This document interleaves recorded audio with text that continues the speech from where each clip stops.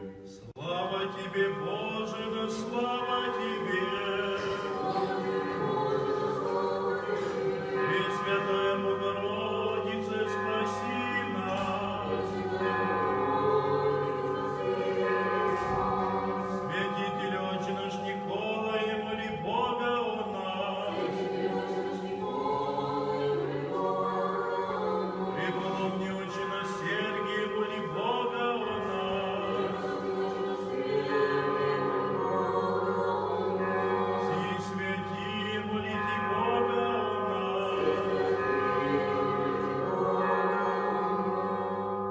Во имя Отца и Сына и Святого Духа. Аминь. 18 декабря. Память преподобного Михаила Синтелла. Преподобный Михаил был родом из Иерусалима. Родители его люди благочестивые, дали ему прекрасное образование.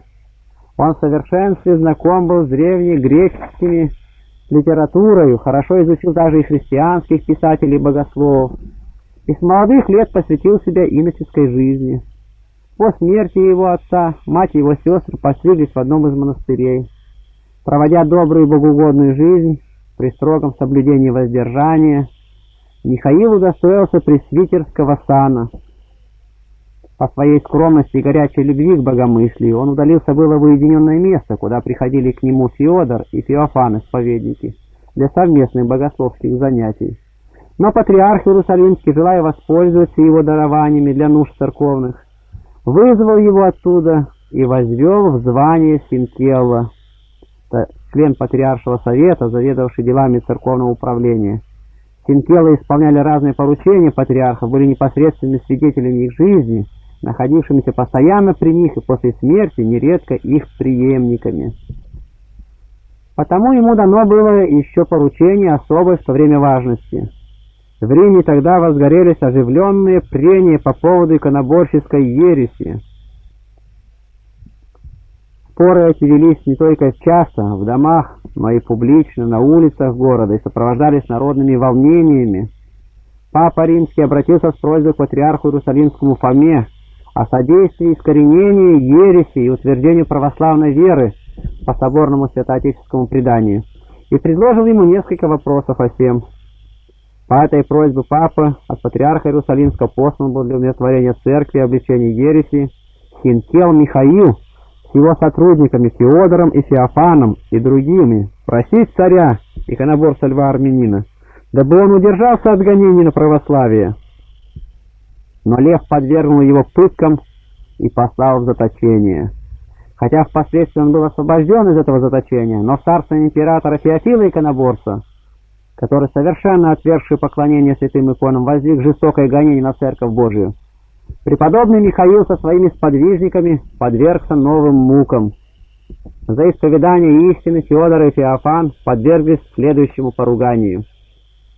По повелению нечестивого царя на их лицах разожженными железными клеймами были отпечены, начертаны ругательные слова. Отобрана была и находившаяся при них переписка патриарха Иерусалимского с папой римским, хотя они и старались ее скрыть от гонителей правой веры. Но преподобные и преславные отцы нисколько того не устрашились и в своих убеждениях не поколебались, но как твердые адаманты воспротивились требованиям иконоборца и мужественно защищали православное учение. Адамант, алмаз, камень, имеющий такую крепость, что чертит и режет прочие камни, не получает того вреда. Многократно они вели пространные беседы о православной вере и произносили речи против иконоборца царя, за что и осуждены были им на изгнание. Блаженный Михаил сначала заключен был в дворцовую тюрьму, вместе с учеником своим и сподвижником Иовом, где на него возложены были тяжкие оковы, а потом с тем же Иовом сослан был в один монастырь Павииатский, ссылку. За все это время много было пролито святым горьких слез. Страдания надломили его здоровье, тело его сгорбилось, но духом исповедник оставался непоколебимо тверд.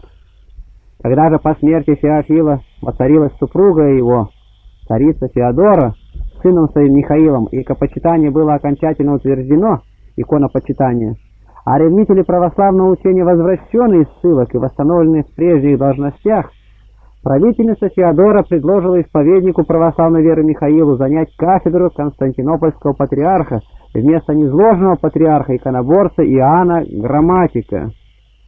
Восстановление иконопочитания состоялось в Константинопольском соборе 842 года. И в память всего торжества православия тогда же был установлен в церкви особый чин православия, совершаемый и ныне в первый воскресный день Святой Четыредесятницы. Иоанн VII прозван за свою ученость грамматиком, патриаршество с 832-842 год. Но он уклонился от этого, и патриархом поставлен был известный поборник православия святой Мефодий, патриаршество с 842 по 846 год. Михаил же в звании Синкелла, получив свое заведование Великий Константинопольский соборный храм, успокоился после понесенных им тяжких испытаний. Благочестиво и богоугодно дожил он до 85-летнего возраста и с миром отошел ко Господу около 845 года. Богу нашему слава во веки веков. Аминь. Просим, приходите, подписывайтесь, э, будете регулярно получать с нашего канала.